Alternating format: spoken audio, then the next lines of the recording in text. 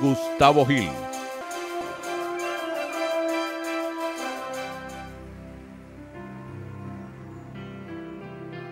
Se inició en 1959 con el Valencia, donde jugó nueve campañas antes de pasar al Magallanes, donde vivió sus grandes momentos, entre los que se cuenta el primer título del Caribe para el béisbol venezolano. Hill fue otro de nuestros big leaguers al debutar en las mayores con Cleveland en 1967. En esa ocasión conformó con Víctor Davalillo la primera pareja de criollos que fueron compañeros de equipo en el béisbol mayor. En 1969 pasó a ser el único venezolano en vestir el uniforme de los desaparecidos pilotos de Seattle. Terminó su carrera en 1971 con los cerveceros de Milwaukee.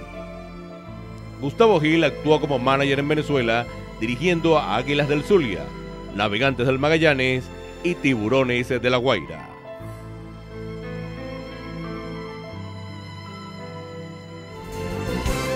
Por su gran labor en los terrenos de nuestro béisbol, fue conocido como el maestro.